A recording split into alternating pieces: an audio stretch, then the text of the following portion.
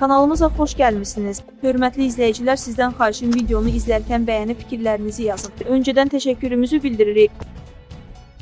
14 Azərbaycan vətəndaşı Həmas terror qruplaşmasının əsirliyindədir. Verir ki, bu barədə Telegram kanalı məlumat yayıb. Həmas terror qruplaşması son hücumları nəticəsində həlak olan və itkin düşən məhbusların siyahısını 44 ölkə vətəndaşının daxil olduğu Əl-Əqsa Fırtınası Ə adlı milliyyət təsnifatı ilə təqdim edib. Siyahıya əsasən Həmas terrorçuları İsraildə 14 Azərbaycan vətəndaşını əsir götürüb, 3 nəfəri öldürüblər, 1 nəfər isə itkin düşüb.